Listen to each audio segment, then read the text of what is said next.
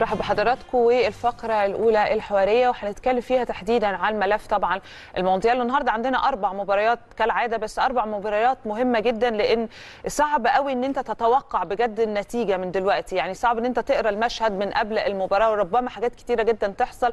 هتلاقي إن في ممكن يعني منتخبات فرصتها إن هي الأقرب لكن النقاط بتاعتها أقل. حاجات زي كده. يعني خلينا نعرف بالظبط كل التفاصيل دي بس على كل حال خلينا نرحب في البداية بالضيف العزيز الناقد الرياضي الأستاذ محمد همام. بونجور صباح الخير. صباح الخير على حضرتك صباح الخير صباح. الفل، صباح الخير على الساده مشاهدي النادي الأهلي. منورنا ومنور حلقتنا النهارده وزي ما نواند بتقول لك إحنا كان يعني فعلا عندنا حاجات كتير عايزين ندردش مع حضرتك فيها. وتعالى بعد إذنك نبتدي فعلا بال- بلقاءات النهارده. وبعديها برضو عايزين نطمن منك كده على منتخباتنا العربية كل منتخب منهم على حدة وضعه إيه حتى هذه اللحظة. بس تعالى نبتدي بماتشات النهارده. نبدأ بإيه. بقى؟ يعني نبدأ مثلا بإيران مثلا وأمريكا يعني لأن فرص مفروض إيران تكون أفضل لكن أمريكا يقول لك هي الأقرب. ما تفهمش إزاي؟ المجموعة طبعا من البداية أصلا ال- قبل بداية المب- الجولة والمباريات في المجموعة دي بالتحديد كان مجموعة متشابكه جدا خصوصا الخلافات اللي ما بين المعروفة طبعا ما بين إيران وما بين أمريكا. هي آه، مباراه سياسية رياضية جداً. شوية بس. نتمنى ما نشوفش الجانب السياسي يعني آه، النهارده. كان في قبل كده سنة آه، 98 مونديال 98 مباراة ما بين أمريكا وإيران وإيران كسبت 2-1 وكانت بالنسبة لهم دي كانت أهم مباراة ليهم في المجموعات. هم وقتها خرجوا من دور المجموعات لكن بالنسبة لهم كانت أكن المباراة دي كانت بالنسبة لهم نهائي كأس عالم. المشهد بيتكرر تاني والفرص آه، عند المنتخب الإيراني عندهم كذا طريق يا إما تعادل أو فوز طبعا على عكس المنتخب ال- الأمريكي بس اعتقد إن قوة. المنتخب الأمريكي في النسخة اللي حضرتك بتتكلم عليها كان كان نسبيا افضل يعني أقل شوية من اللي إحنا شفناه الموز يعني النسخة دي. صحيح صحيح في في تألق أمريكي ملحوظ صحيح آه، لكن آه، خبرة كروش في كأس العالم أكتر من نسخة مع منتخب إيران ومنتخب البرتغال. آه، كمان التحول آه، اللي ما بين المباراة الأولى للمنتخب الإيراني في آه، مع المنتخب الإنجليزي والفوز في مع ضد المنتخب الويلزي. بالرغم من إمكانيات المنتخب الويلزي وأكتر من لاعب بيلعب في البريمير ليج وطبعا بقيادة طبعا أهمهم جاريث بيل طبعا في الدوري الأمريكي. لكن منتخب إيران قدر إن هو يحقق مفاجأة كبيرة. مش بعيد إن هو النهارده يكون يقدر إن هو يكون آه، منافس آه، شرس للمنتخب ال- الأمريكي. آه المنتخب الأمريكي عنده نجوم آه، بوليسيتش طبعا وعندهم يعني إمكانيات.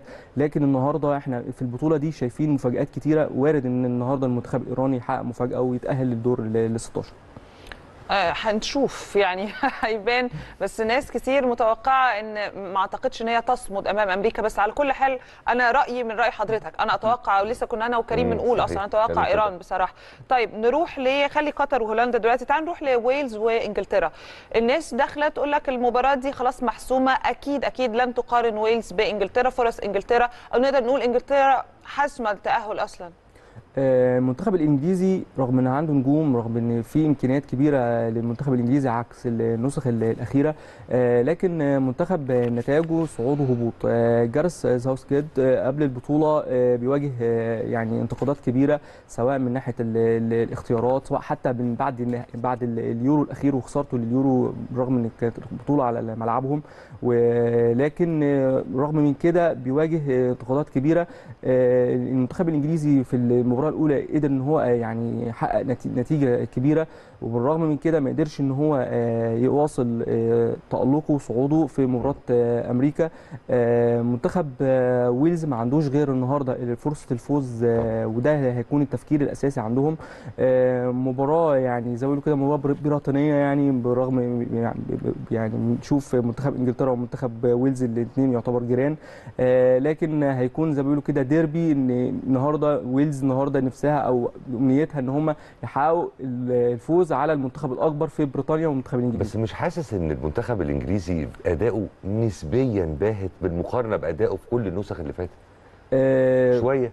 يعني, يعني- مش, مش حاسه يعني- أقل شوية؟ يعني طب يعني رغم من كده يعني رغم من كده رغم إن هو عنده نجوم ولكن هو مش قادر إن هو يستفيد من النجوم اللي عنده خصوصا الخط الهجومي. يعني سواء نتكلم على هاري كين ستيرلينج آه، ماونت بنتكلم على جريليش بنتكلم على إمكانيات كبيرة للمنتخب طبعاً. الإنجليزي لكن من رغم من كده بيواجه انتقادات كبيرة وزي ما ذكرت يعني لكن ممكن نشوف في ال- في الأدوار اللي اللي جاية ممكن نشوف تغير شوية للمنتخب الإنجليزي آه، زي ما بيقولوا المنتخب الإنجليزي يعني شبه إن هو تقريبا ضمن الصعود لكن إحنا بنتكلم بقى دلوقتي مين اللي هيكون الأول والثاني. خصوصا أكيد تفكير المنتخب الإنجليزي على الصدارة علشان يهرب من المواجهات الكبيرة في الدور 16 طيب تعال نروح للاكوادور والسنغال صحيح. منتخب السنغال بالنسبة لنا كان مفاجأة في إنه في مباراة هولندا كان كان يقدر إن هو يكسب. آه، اتخطفوا من المنتخب الهولندي. آه، لكن المنتخب السنغالي قدر إن هو يحقق آه، فوز على المنتخب القطري في الجولة الثانية المنتخب السنغالي رغم إن غياب ساديو ماني آه، لكن الفريق يعتبر متماسك آه، وعندهم دافع إن هم عاوزين يحققوا حاجة لساديو ماني وللشعب السنغالي والجمهور السنغالي. آه، المنتخب السنغالي النهارده برضو ما عندوش غير ان هو فرصه ال- الفوز على عكس المنتخب الإكوادور يا إما تعادل يا إما فوز. آه، غياب ساديو ماني في حد ذاته في رأيك كان غياب قاتل للمنتخب ولا مشي الحال؟ بالتأكيد يعني أنت شفنا ال- الوضع ده يعني وشفنا التأثير ده في المباراة الأولى. المنتخب السنغالي سيطر على الكورة لكن كان الفعالية الهجومية كانت ضعيفة. آه، الوضع اتغير شوية في الجولة الثانية في مباراة المنتخب القطري. آه، صحيح المنتخب القطري مش نفس المنتخب الهولندي ومش نفس الإمكانيات آه، لكن يعني وقتها أو في ظروف المباراة قدر إن هو يستغل المرة دي المنتخب السنغالي. منتخب الإكوادور منتخب بالنسبة لنا كان مفاجئ. آه، بنتكلم على يعني لعيبة أشباه إن هم مش يعني من اللعيبة الأساسية أو ال- ال- النجوم في ال في ال في, ال في أمريكا اللاتينية أو في أوروبا. آه، لكن بنشوف انر فالنسيا يعني هداف البطولة مع كيليان إمبابي. وبنشوف آه، يعني إن المنتخب الإكوادوري بيحقق آه، نتائج يعني مفاجأة برضو إن هو يكسب المنتخب المستضيف في الأول ويتعادل مع المنتخب الهولندي وكان قريب ممكن إن هو يكسب. مباراة صعبة على المنتخب السنغالي وكفاء الكفة تعتبر متساوية 50 50 طيب قطر وهولندا. مباراة يعني تعتبر يعني محسومة. تحصيل حاصل. يعني تحصيل المنتخب حاصل بالنسبة لقطر أكيد. للأسف على فكرة إن الواحد هنروح طبعا التفاصيل بتاعت المنتخبات العربية زي ما كريم كان بيقول بس يعني ليه كده يعني؟ المنتخب القطري يعني كان في تصريح مهم شوية للمدرب آه، سانشيز قال إن الدوري بتاعنا مش دوري تنافسي. ولو نقارن شوية ما بين الدوري القطري والدوري السعودي مثلا مم. نشوف الإمكانيات الكبيرة للدوري السعودي في السنين الأخيرة وضم نجوم كبيرة في لل كورة حلوة بتتلعب. صحيح آه، مدرب كورة سريعة كمان. مدرب هيرفي رينارد عمل منتخب رائع جدا وده يعني مستمر بخلال الاتحاد السعودي جدد الثقه في هيرفي رينارد لحد 2027 يعني إحنا بنتكلم لكأس العالم اللي جاية. فاستقرار في المنتخب السعودي آه نفس الوضع للمنتخب القطري لكن إحنا بنقول إن المنتخب القطري كان بالنسبة لنا شيء مفاجئ إن تكون بطل آسيا وإمكانيات كبيرة توفرت للمنتخب القطري معسكرات آه، في فترة أخيرة بطولات دولية شاركوا فيها. الخلل فين العطل فين في ناس كتير شافت إن قطر آه، لم تحسن تجهيز منتخبها بنفس قدر آه، يعني حسن تنظيمها. للمونديال ذات نفسه يعني إن هم عملوا حاجات كتير قوي وكأنهم ما لحقوش صحيح. بالمرة يظبطوا المنتخب. ممكن تقول إيه للناس اللي بتقول كده أو اللي شايفة ممكن كده يكون من ناحية الضغط على اللعيبة برضو بطولة أول مرة يشاركوا في كأس عالم على عكس المنتخب السعودي يعني عندهم باع كبير في البطولات الدولية. أيوة. وكأس العالم دي نقطة برضو من النقط المهمة لكن إحنا بنتكلم إن المنتخب القطري بيتأسس يعني فترة يعني بنوا منتخب ولسه إحنا بنشوف إن المنتخب القطري لسه يعني برضو بي يعني بيدعموا أكتر في الفترة اللي جاية من ناحية ال ال ال الإمكانيات برضو إيه، سواء اللعيبة أو سواء المدرب برضو ما فيش برضو كلام إن المدرب ممكن يمشي أو لأ ما فيش ضغط عليه. فواضح إن هم هيعتمدوا على المدرب الفترة اللي جاية. فهو في استقرار في المنتخب ال- ال- القطري. هنشوف الفترة اللي جاية هيتوضح إزاي إذا كان ال- ال- السياسة هتستمر برضو من ناحية ال ال ال ال الاعتماد على اللاعبين الشباب وبيكونوا فرق الشباب من ناحية أكاديمية سباير اللي هم اعتمدوا عليها ودي كانت النواة اللي هم يعني الأساسية لتكوين المنتخب دلوقتي. وفي نفس الوقت هنشوف برضو إذا كان هيبتدوا يفكروا في هم يخرجوا لعيبة لدوريات آه، أوروبا أو كمان هنشوف الدوري بتاعهم الفترة اللي جاية هيكون فيه تطوير أكتر عن الفترة الحالية أو السابقة. الفترة اللي جاية هتبين أكتر المنتخب القطري هيفكروا إزاي هيش- هيمشوا إزاي الفترة اللي جاية. على عكس المنتخب السعودي منتخب آه، يعني رائع جدا. ومنتخب قدم آه، كرة جميلة جدا. آه، بالنسبة لي هم أهدروا فرصة في الجولة اللي فاتت إن هم فرصة الصعود لكن قدامهم فرصة تانية مع المكسيك يعوض- بقى مفروض آه. صحيح عندهم فرصة تانية مع المنتخب المكسيكي. آه، بالنسبة لي المنتخب المكسيكي يعني ظهر بمستوى يعني متواضع جدا عن النسخ الأخيرة آه، سواء في مباراة بولندا أو مباراة ال- الأرجنتين. آه، في نفس الوقت برضو المنتخب السعودي ميز ميزته بيقدم كورة بيحسسك إن هو في أي وقت ممكن يسجل وفي في أي وقت ممكن آه، يكسب وفي أي وقت إن هو أنت ما تفقدش الأمل إن هو إيه يخسر أو يتعادل حتى. طيب خلينا نروح كده بقى ل- للدوحة. مباشرة وزميلنا العزيز هناك أحمد عويس الناقد طبعا الرياضي. يا يعني مسيو عويس bonjour عليك في البداية. bonjour أنا هواند وصباح الخير يا كريم. bonjour أنا هواند بقى عشان آه. يعني أنا يعني أنا صباح الخير بس و... إش... ليه أنا مش bonjour زي قال لك الهوان نجمة سينما بقى. نجم السينما وكريم bonjour الخطوة الجاية أوعدك يا عويس والله. مش بعيد. صباح الفل. الضيف العزيز محمد همام. آه، خلينا اتفضل. نقول إن أنا إمبارح قلت لكم إنه النهارده آه، عندنا ماتشين لماما أفريكا وإن شاء الله الأفارقة هيعملوا آه، حاجات كويسة. الكلام اتحقق الكاميرون حققت تعادل أيوة. كبير مع حصل. صربيا 3 3 حصل. آه، غانا حققت فوز على كوريا الجنوبية بثلاث أهداف لهدفين. واصبح عند الفرق الأفريقية عندنا أربع فرق منتخبات أفريقية عندها أمل في الصعود للدور الثاني حلو. وأعتقد إن دي المرة الأولى اللي بيحصل في كأس العالم ده. ما شفناش ده قبل كده إن. إحنا عندنا الكاميرون عندها فرصة صعود. آه عندها مباراة صعبة أمام البرازيل ولكن لسه الأمال قائمة. المغرب قاب قوسين أو أدنى من الصعود. غانا عندها فرصة كبيرة للصعود وعندنا السنغال النهارده مباراة الإكوادور. لو كسبت هتوصل. طبعا ده ده آه، أملنا كلنا. آه، امبارح المباريات المنتخبين الكبار في نهاية الجولة ونهاية اليوم البرتغال والبرازيل ضمنوا الصعود فأصبح عندنا ثلاثة من الكبار صعدوا البرازيل وفرنسا والبرتغال. اثنين ودعوا كندا وقطر ولسه باقي 27 منتخب يا جماعة. عندهم فرصة الصعود للدور الثاني وده رقم مهول قبل الجولة الثالثة. يمكن همام آه، يقدر يكمل على كلامي بعد كده إنه عمرنا ما شفنا في كأس عالم. بالظبط إنه الجولة. الثالثة داخلة وفي 27 منتخب لسه عندهم فرصة صعود صعبة جدا. يعني يعني بتبقى كبير. يعني الجولة الثالثة دي بنبقى داخلين وفي سبع ثمان منتخبات خلاص آه، بالظبط. المرة دي الموضوع صعب والمباريات مش مضمونة. وكل المباريات اللي الناس بتقول ان المباريات هتبقى سهلة والمستوى الفني ضعيف بتشوف فيها أجمل كورة. يعني امبارح مباراتين واحدة أو 12 و3 العصر ماتش سيربيا والكاميرون آه. كوريا وغانا 11 هدف في مباراتين. أيوة. ده أرقام في كأس العالم ما بنسمعهاش خالص. فالحقيقة ال- ال- المباريات تزداد إثارة تزداد قوة و... ولو عندكم أسئلة بقى. آه أنا عندي بصراحة. أبدأ؟ آه، اتفضلي يا فندم اتفضلي. بص بقى يا عويس مبدئيا إحنا خلينا نتكلم عن الأربع منتخبات إفريقية. اتكلمنا عن كاميرون المغرب غانا والسنغال. من وجهة نظرك من هم أو من هي أو من هو المنتخب الأقرب من الأربعة اللي إحنا ذكرناهم ده دلوقتي؟ صراحة فرص يعني الصعود. في فرص الصعود رقم واحد المغرب لأنه أوكي. عنده مباراة سهلة أمام كندا عنده أربع نقط. رقم اثنين السنغال عنده مباراة متكافئة أمام الإكوادور. تمام. رقم ثلاثة آه، منتخب غانا. لأنه كسب مباراة وعنده ثلاث نقط هيبقى المنتخب الأقل فرص هو منتخب الكاميرون. لأن عنده مباراة صعبة قوي قوي قدام البرازيل اللي ضمن الصعود. آه، ومحتاج يكسب لأنه عنده نقطة واحدة. آه، آه، بقية الفرق الحقيقة آه، ال- المنتخب الأفريقي الخامس هو المنتخب التون- التونسي. هو ما فقدش الأمل على فكرة في ال في ال في الصعود. هو هو عنده أمل في الصعود ولكن آه، آه، آه، ال- ال- ال- الجولة دي هيلعب فرنسا. ف وطبعا فرنسا هتلعب. تقريبا هو كان كان ديديه ديشامب حب يريح بعض النجوم. آه، كيليان امبابي آه، رفض ال- ال- ال- الفلوس أو ما يقال إنه رفض لأنه عايز يكمل أرقامه.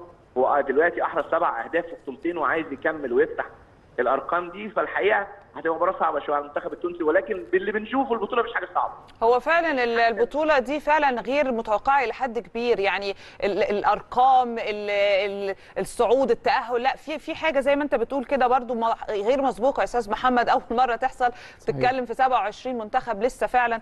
فلا دي حاجة طب أنا عايز أسألك أنت بتشوف يا عويس دي حاجة كويسة ولا لا؟ وفي نفس الوقت لو كويسة طب ده راجع لإيه؟ إيه الأسباب إن إحنا نقول المونديال ده بيشهد ظروف استثنائية بهذا الشكل؟ عشان المونديال ده إحنا بنلعب في نوفمبر كل المونديالات السابقة كانت المونديالات بتتلعب في في شهر ستة. 6 في. نهاية الموسم الأوروبي في الكورة فاللعيبة بتبقى رايحة وهي همدانة ومستواها خلاص وصل لل top level في نهاية دوريات ولعب نهاية Champions League ولعب نهاية الدوري بتاعه وي. فبيكون خلص اللي عنده فبيبقى عايز البطولة تخلص بأي طريقة المرة دي انت إحنا الناس رايحة في الأسبوع العاشر وال11 في الدوريات فلسه اللعيب بيبدأ يعلى مستواه فكل اللعيبة جاية وهي مستواها عالي جدا. وطبعا كلنا عارفين إن كل المنتخبات عندها نجوم محترفين. طبعا. يعني المنتخبات الأفريقية ما فيهاش لعيبة كتير موجودة في أفريقيا. حتى منتخب تونس ومنتخب المغرب أغلبهم محترفين في. أوروبا. فعشان كده الدوريات مستمرة. إحنا الدوريات الأوروبية فضلت مستمرة لحد يوم 13 آه، آه، نوفمبر يعني قبل انطلاق المونديال بأسبوع.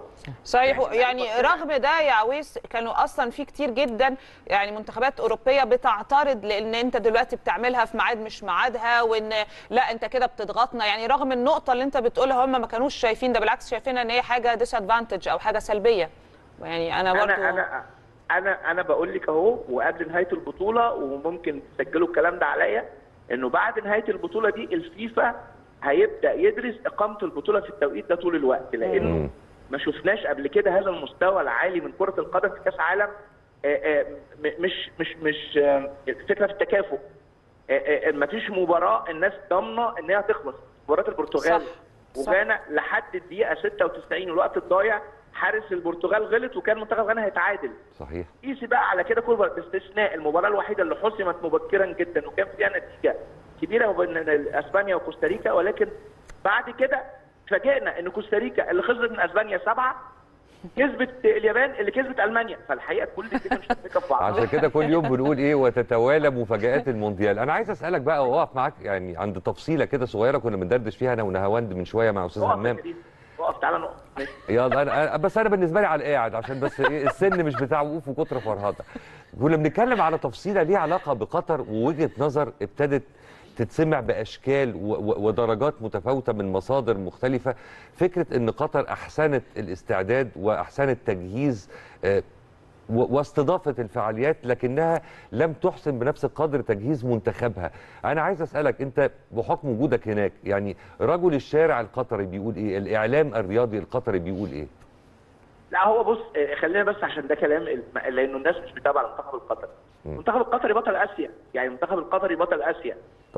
ولعب نهائي بطولة الكونكاكاف اللي هي أمريكا الوسطى. المنتخب القطري استعد كويس جدا للبطولة ولكن في خطأ كبير حصل في استعداد المنتخب القطري. المنتخب ده بقاله ست سنين في معسكرات. لما وصلوا لل- للمنطقة اللي هم محتاجين الفريق يبقى فيها في ال top level كان الفريق زهق. فاللعيبة آه، تشبعوا يعني عايز تقول؟ تشبعوا وخلاص هم هينزلوا كأس العالم يعملوا كل حاجة فما عرفوش- يعملوا حاجة. وخرجوا تماما من تركيزهم وده شفناه في مباراة الإكوادور. أول ما جه فيهم جول ما بقوش موجودين في الماتش. فعشان أيوة. كده لا المنتخب القطري استعد كويس. والناس والمسؤولين والإعلام هنا عارفين هم استعدوا كويس لأنه المنتخب ده صرف عليه أرقام كبيرة جدا يعني. أنا ممكن بكرة أقول لكم الأرقام اللي صرفت عليه والبطولات اللي شارك فيها منتخب قطر شارك في بطولة الكونكاكاف شارك في بطولة آه، كوبا ليبرتادوري شا- شارك في كل آسف بطولة أبطال في في آه، في أمريكا الجنوبية يعني شارك في البطولات الكبيرة كلها. بطل آسيا آه، عنده المعز علي هداف آسيا احسن لاعب في آسيا. عنده أكرم عفيف عنده حسن الهيدوس عنده مجموعة كبيرة جدا كريم بوضياف لا نجوم كبار. والمنتخب ده لما خد كأس آسيا عمل سبع انتصارات متتالية وفاز في النهائي في النهائي. على المنتخب الياباني 2-0 اللي المنتخب الياباني آه، كسب آه، منتخب ألمانيا بنفس الفرقة على فكرة. كسب المنتخب السعودي 2-0 اللي كسب الأرجنتين. فالحقيقة بما الناس مش متابعة المنتخب القطري في استعداداته وبداياته لحد دلوقتي. عشان كده ما حدش آه، كله جه عند نقطة الهزيمة من الإكوادور ثم الهزيمة من السنغال. لا الهزيمة من الإكوادور والهزيمة من السنغال دول آخر نقطة وصل لها المنتخب القطري. وعشان كده كل الناس بتقول لا أصل ما استعدوا دفعوا فلوس كتير آه، في في البنية التحتية وفي الاستعداد للبطولة وما وما استعدوش كويس للكورة. لا استعدوا كويس للكورة بس هي الكورة في الآخر 90 دقيقة. مين موفق ومين آه، ومين مش مو- موفق هي كده. صحيح عندك حق. طيب آه، يعني قبل آه، أستاذ محمد أي سؤال للضحى؟ لو حابب تستفسر أي حاجة من زميلنا عويس لو حابب تسأله. منتخب السنغال يعني يقدر النهارده يوصل ويصعد ولا لأ؟ النقطة الثانية المنتخب القطري هيدخل الماتش ده إزاي؟ يعني يعني هيحاول إن هم بأي يردوا. نفسية يعني. آه يعني هيحاولوا يردوا شوية وخصوصا الجمهور القطري كان يعني في انهزامية شوية يعني. آه يعني في يعني بيحاولوا النهارده هيحاولوا يردوا شوية ويقفوا ويصمدوا قدام المنتخب الهولندي والمباراة الأهم منتخب آه، آه، مباراة إيران وامريكا مين يكون الطرف الأقوى فيها؟ أنا وجهة نظري برشح المنتخب السنغالي والمنتخب الهولندي للصعود من المجموعة الأولى المنتخب الإنجليزي والمنتخب الإيراني من المجموعة الثانية. وأتمنى أتمنى المنتخب القطري يقدر النهارده يقدم صورة للمنتخب لمستوى المنتخب القطري الحقيقي اللي ما حدش شافه لحد دلوقتي ويقدر حتى لو لو إنه خرج من البطولة رسميا ولكن ممكن يقدم صورة ويعمل مفاجأة ويكسب أو يتعادل مع المنتخب الهولندي. ويختم البطولة مشاركته الأولى في البطولة بأداء آه، يرضي جماهيره ويرضي يبقى الناس. خروج مشرف على الأقل. ويبقى خروج مشرف يعني آه، في اول مشاركة ليه يبقى عمل حاجة. آه، أعتقد مباراة إيران وأمريكا هي مباراة آه، هتبقى العالم كله واقف مستنيها. وأنا وجهة نظري إن شاء الله المنتخب الإيراني هيقدر يحقق الفوز ويوصل أو على الأقل التعادل. آه، لأن منتخب أمريكا عنده نقطتين فمحتاج يكسب أو يتعادل. المباراه الثانية ويلز وإنجلترا أعتقد المنتخب الإنجليزي فرصه أكبر في تحقيق الفوز وصدارة المجموعة. كويس جدا. طيب عويس إيه الماتشات اللي أنت النهارده هتتابعها؟ وتوقع أنا- يعني توقعاتك برضو. آم، هو أنا هحضر هولندا وقطر في الملعب وهيتلعب في نفس توقيت توقيت الإكوادور والسنغال. أتوقع فوز السنغال على الإكوادور وتعادل أو فوز هولندا على قطر. المباريات الثانية فوز إنجلترا على ويلز. وفوز أو تعادل إيران إيران مع أمريكا. مم. إن شاء الله. حلو. رائع جدا. نشكرك جدا. وأكيد تغطيتنا مستمرة مع زميلنا العزيز من الدوحه مباشرة أحمد عويس الناقد الرياضي. شكرا ليك. حاجة جميلة إن أنت تقدر تحضر أكتر من ماتش في كأس عالم في نفس اليوم.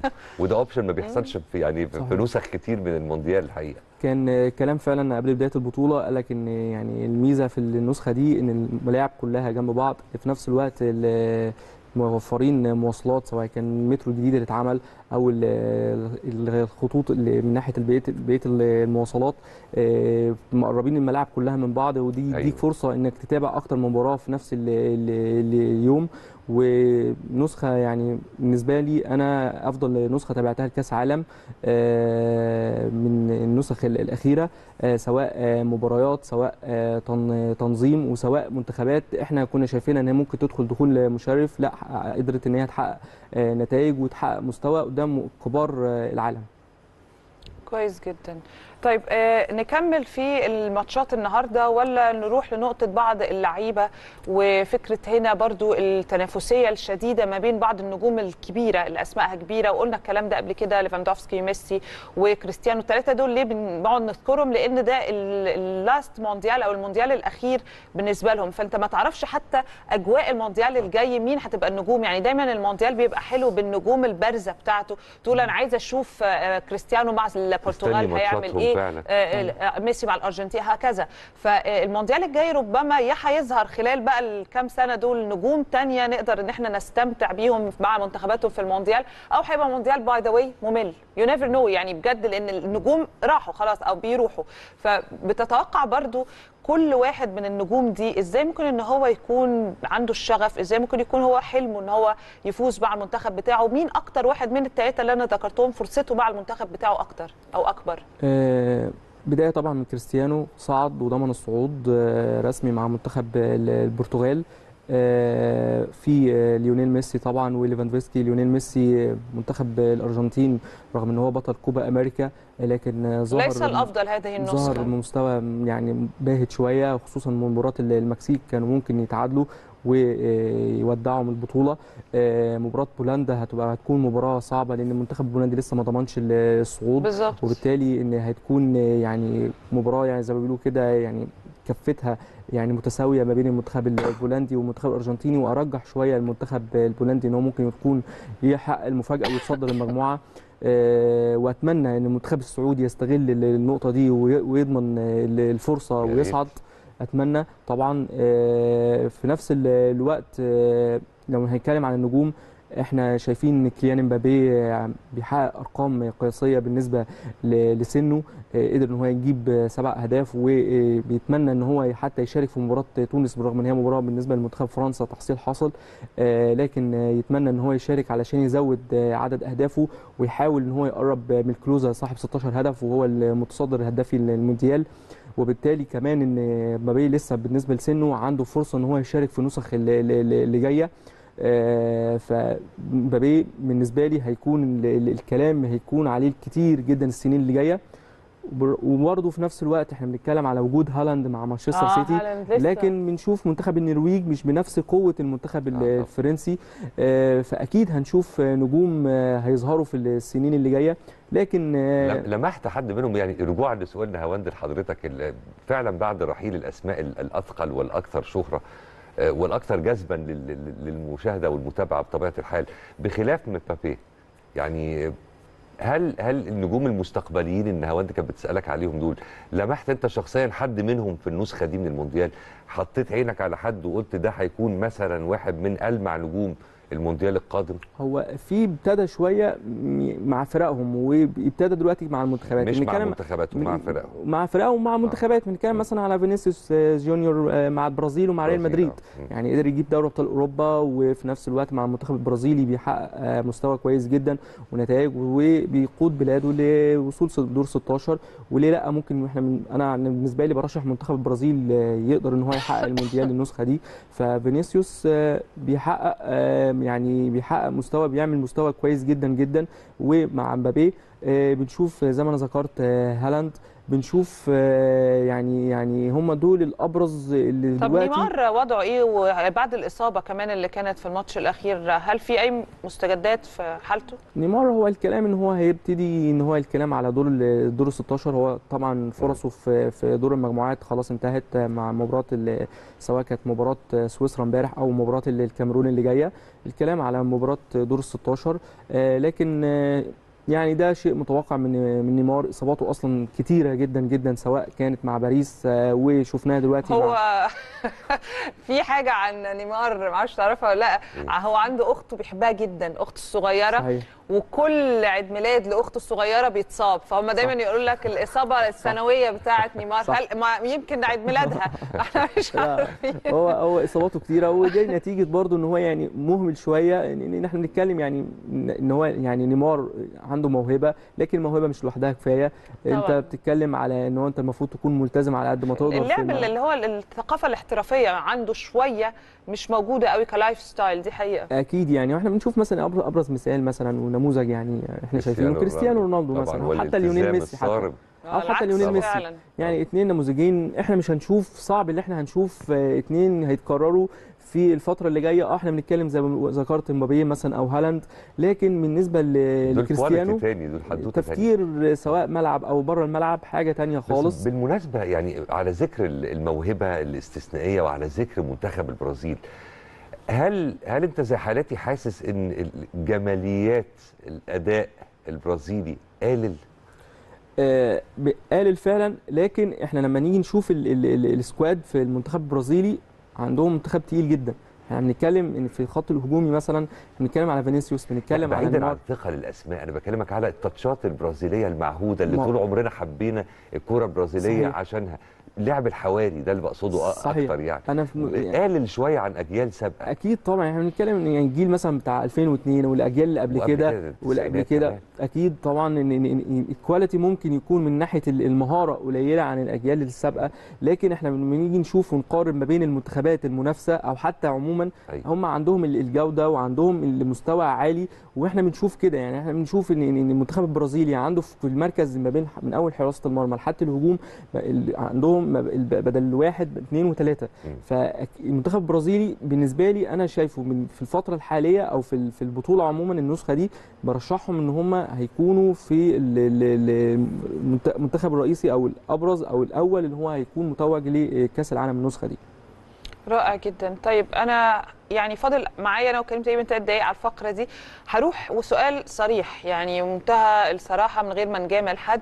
دلوقتي من المنتخبات العربية الأقرب للتأهل هي بتتكلم عندك المغرب والسعودية. لو أنا اخترت ما بين المغرب والسعودية هم مش مع بعض بس أنا بتكلم ان جنرال مين فرصته أقوى؟ طبعا المنتخب المغربي طبعا. المغربي. طبعا يعني مع حتى رينارد دلوقتي والسعودية وما قدم على الأرض شايف برضو إن المغرب ربما أقوى. أكيد هو إحنا بنتكلم على أرض الواقع دلوقتي وفي نفس الوقت بنتكلم يعني من ناحية المنافسين كمان آه، المنتخب المغربي عنده كذا حل وفي نفس الوقت بيلعب المنتخب الكندي المنتخب الكندي في برضه ظهور أول زي المنتخب القطري آه، بنتكلم إن يعني يعني, يعني عنده كذا المجموعات فرصة. برضو فرقت في إعطاء صحيح، الفرص صحيح. للمنتخبات يعني العربية عنده أكتر من فرصة المنتخب المغربي سواء آه، تعادل أو آه، فوز مع ان أنا برشح إن طبعا إن هم هيكسبوا مباراه كندا وأكيد تفكير المنتخب المغربي في الصدارة علشان برضه ما يحاولش يواجه منتخب إسبانيا في في في دور ال 16 آه، مع طبعا أكيد طبعا المنتخب الإسباني ضمن صدارة مجموعته. ففي نفس الوقت المنتخب المغربي عنده ال- ال- الطرف الأقوى إن هو يتأهل. المنتخب السعودي يعني لو هنتكلم عموما على المنتخبات العربية فبعد المنتخب المغربي هو ال- المنتخب السعودي. السعودي آه، طبعا منتخب قطر ودع منتخب تونس بالنسبة لي خلاص يعني شبه هو فرصة ودع يعني برضه. قليلة جدا جدا صعب الشديد. صعب خلاص فهو المنتخب اللي, اللي اللي بعد المنتخب اللي زي ما ذكرت المغرب هو السعوديه لكن أنت عموما يعني في ضوء مشاهداتك السابقة للمونديالات السابقة وفي ضوء متابعتك الحالية للمونديال الحالي نقدر نقول إن منتخبات العالم العربي ومنتخبات إفريقيا بيخطوا خطوات بطيئة نسبيا بس بيقربوا شوية من فكرة إن هم يوصلوا لادوار ما كانوش بيوصلوا لها في نسخ سابقة. سابقة ده إن كانوا شاركوا قبل كده أصلا فيها. على سب- على سبيل المثال مثلا منتخب المغرب يعني منتخب المغرب خلال مشاركاته يعني ما صعدش دور 16 غير مرة واحدة. نسخة 86 فيعني بنتكلم إن هو فرصته أكبر إن هو يصعد النسخة دي. طب وليه ده الوضع افريقيا وعربيا في المونديال؟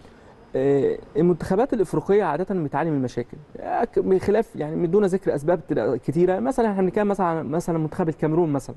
بالرغم ان منتخب الكاميرون يعني امبارح شفناه متعادل مع صربيا 3 3 أيوة. وفي مستوى وكده. ولكن إحنا بنشوف قبل المباراة بساعات قليلة مشكلة ما بين أونانا وما بين سونج مدرب ال- المنتخب واستبعاد من القائمة واستبعاد من البطولة. على يعني دي, نقطة ومثال بسيط. إحنا شفناها كتير مع منتخبات كتير سواء عربية أو إفريقية. فبالتالي المنتخبات الإفريقية بالرغم إن عندها إمكانيات من ناحية اللعيبة بتلعب في دوريات أوروبا وبتلعب ممكن في أكبر أندية أوروبا لكن من الرغم من كده شفنا إن مستوى باهت ومستوى ونتائج آه، ضعيفة جدا المنتخبات سواء كانت عربية أو إفريقية. آه، لكن النسخة دي ممكن نشوف شوية منتخب المغرب ومنتخب آه، غانا عنده فرصة إن هو يصعد دور ال 16 وفي نفس الوقت منتخب غانا ال- ال- المرة دي عندهم لعيبة يعني بيشاركوا في المونديال كانوا ممكن يشاركوا في مع منتخباتهم آه، الأوروبية ولكن اختاروا منتخب غانا. إحنا بنتكلم مثلا على آه، ساليسو المد- المدافع اللي سجل الهدف الأول لمنتخب غانا امبارح. بنتكلم على إنياكي ويليامز آه، لاعب أتلتيك بلباو بنتكلم على طارق لامبتي آه، لاعب برايتون. لعيبة اختارت منتخب غانا فمنتخب غانا بيتكون ومنتخب يعني شايف إن هو السنين اللي جاية هيرجع تاني يعني. هيرجع تاني من ضمن الكبار إفريقيا. فبنتكلم يعني سواء منتخب بالنسبة لي في إفريقيا مغرب وغانا. جميل. رائع جدا. أستاذ محمد همام الناقد الرياضي نورتنا حقيقة يا فندم. شكرا نورك يا لحضرتك. أستاذ علاء ونورك يا أستاذ كريم. شكرا. نورتنا وأسعدتنا بوجودك وإن شاء الله نلتقي على خير مرات ومرات بإذن الله. هنطلع فاصل سريع جدا يا حضرات ونرجع بقى عشان نعرف توقعات حضراتكم إيه؟ ردا على سؤال السوشيال ميديا الخاصة بحلقتنا النهارده. خليكم معانا.